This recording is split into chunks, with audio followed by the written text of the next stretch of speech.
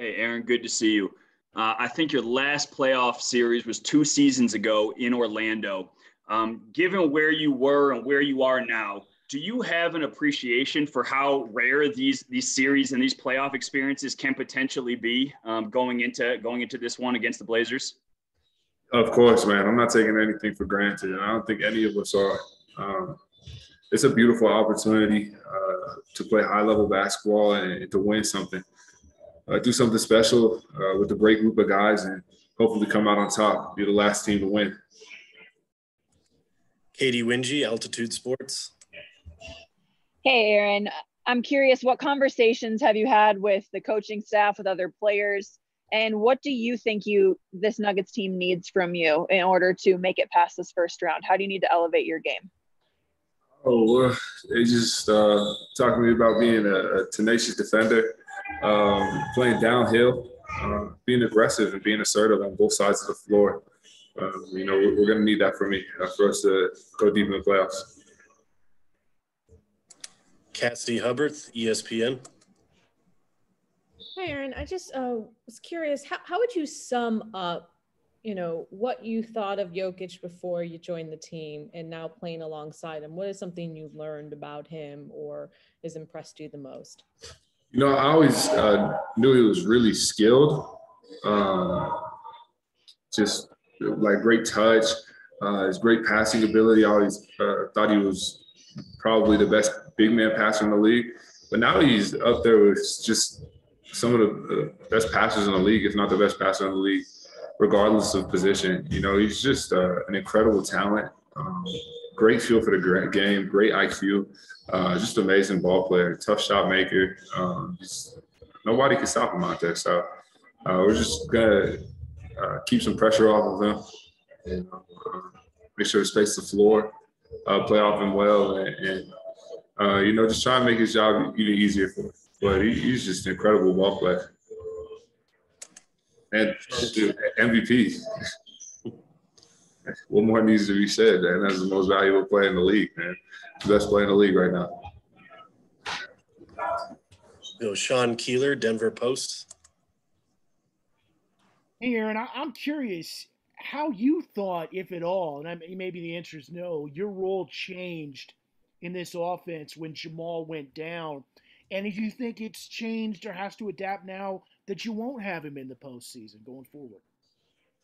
Oh, of course, of course. You know, uh, Jamal was a, a, big shot taker and a big shot maker for us.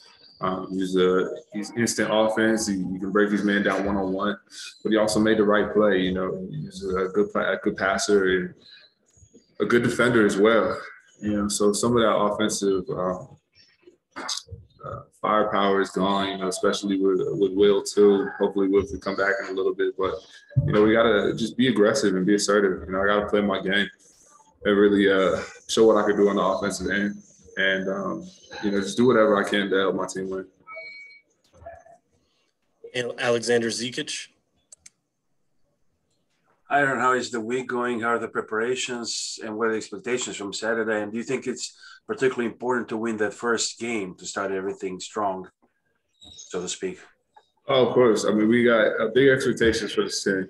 Um, we know Portland's a, a, good team. They got a lot of dogs. They got a lot of fighters on the team, so uh, they're not backing down from any challenge. Neither are we. Um, but we got to take care of home court. You know, that's a, that's the biggest thing. Take care of home court on Saturday. Start with game one. Uh, we know it's a long series, so uh, just focused on what's important. And, you know, we've been preparing, preparing just you go, going through some of uh, their offense, our offense, uh, some of their defense, and our defense, and just getting ready, getting geared up. Harrison Wind, DNVR. Aaron, what's been uh, most impressive to you about how Michael has just kind of raised his game here over the last couple months, especially since Jamal uh, has been out? What's what stood out the most in, in terms of just how he's made a jump here? It's just his patience. You know, he's learning learning the game just uh, to be patient. You know, the ball is going to find him. Just because he's such a great shooter, a great scorer, that the ball is always going to come back to him. So, uh, just to understand the, that feel of it and not uh, have to force too much, and understand that, like I said, the ball is going to find him.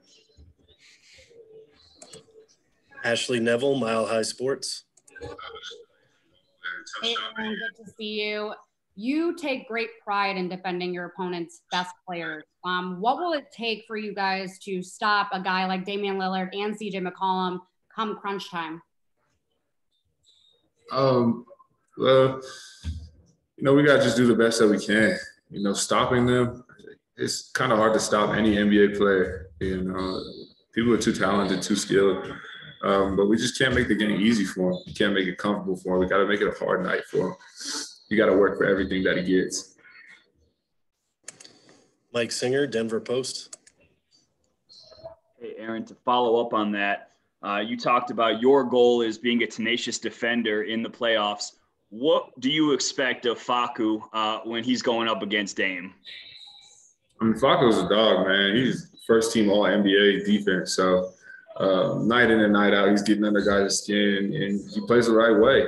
You know, he's um, just a, a, smart, heady basketball player, real gritty, uh, and is always knows the game plan. He's always in the right spot, and he's one of those guys that makes it difficult for the other team.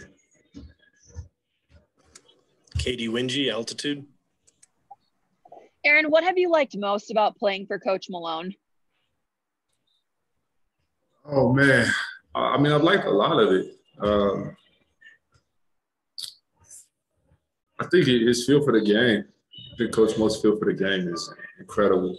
Uh, his play calling, um, and then you know he, he kind of just sits back and lets us play as well. You know, he's not calling a play every time off the floor.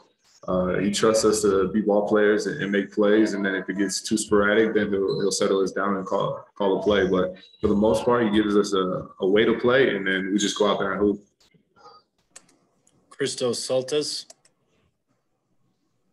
Hey, Aaron, hope you are doing well. From your perspective, what is the most impressive part of your team so far, and what is the real potential of uh, the Denver Nuggets this season uh, in the playoffs? Uh, at first, it was just the depth, the depth of the team. You know, we had 12 players that could all go out and ball. You know, all offensive threats and, and can all hold their own on defense. And then once a couple of players went down, it was, what really impressed me was the resiliency of this team you know, to be able to bounce back from some key players going down and continue to have a good record. All right, Aaron, we got time for one more. We're going to end with Sean Keeler from the Denver Post. All right. Aaron, what in your experience a couple years ago, how was the playoffs different? Guys talk about it slowing down. They talk about the importance per position Possession. How did you note that difference compared to the regular season? Um, yeah, I mean, for us in Orlando, it was about uh, getting off to a hot start. You know, it, it's hard to trail any team, especially in the playoffs, because they're so locked in offensively and defensively. Um, so to get off to a good start is really important, um, and that's that's a big aspect of it. And then to understand that it's a grinded out game, and people are going to be uh, fighting until the final buzzer. All right, that'll do it. Thank you, Aaron. All right. Thank you.